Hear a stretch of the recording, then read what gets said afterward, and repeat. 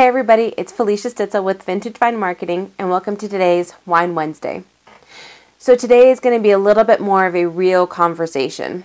On Tuesday, I just got back from a 3,700 mile trip where I went to some of the biggest wine states in the industry, and that is California, Oregon, and Washington. And I spent 10 days interacting with wineries, doing tastings, talking with winemakers and winery owners.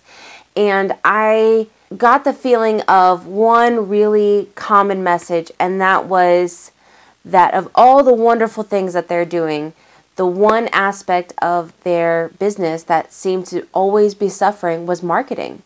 Me being a marketer, that worries me because that means that in a way I'm not doing my job well enough. I'm not reaching out well enough and emphasizing how important marketing really is.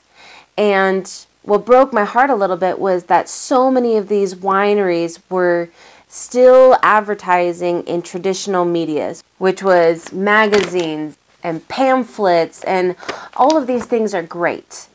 But are you really wanting to spend your money for your marketing in a method that is seen to be archaic. And this is part of the reason why I wanted to do this video today was because I felt like as I was visiting around to all of these different and some of very very major wine industry areas was they were missing out on major opportunities.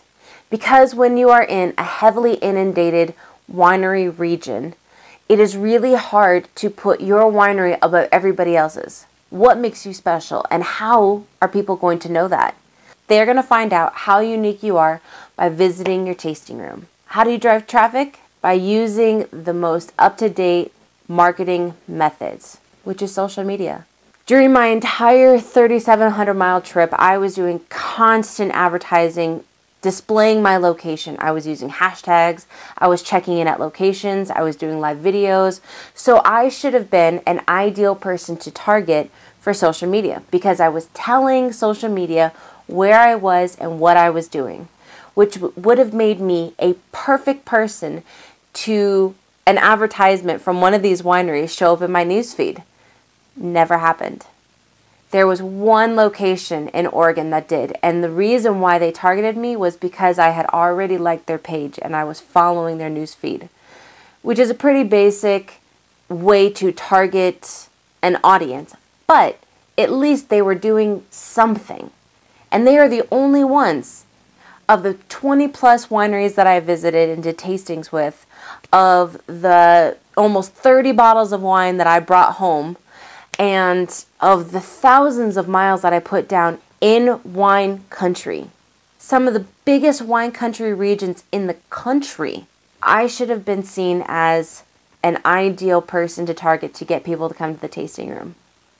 And it never once was seen. And so I wanted to remind all the wineries out there, especially during the height of tourist season and summer, where people are going to be coming to you don't miss out on an opportunity to target them and to advertise to people who are traveling to you.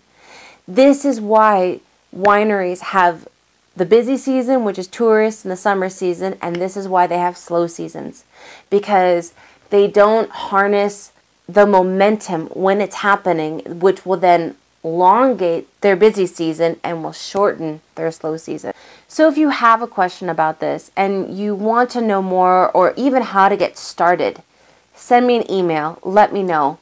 But I see an opportunity that's being missed here. And I see that a lot of wineries are not taking advantage the way that they could be because they think they're too small or they don't have the budget or they I mean there's a thousand excuses that a winery could use to not take advantage of these but there shouldn't be because we have the technology we have the knowledge and we have the resources.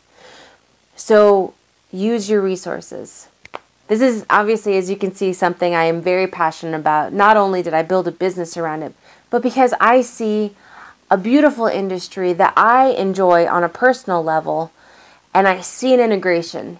I actually read recently how wine and social media are actually the exact same as one another. It's a social event, it brings people together. So, I want to help you start bringing more people together with your wine through your social media.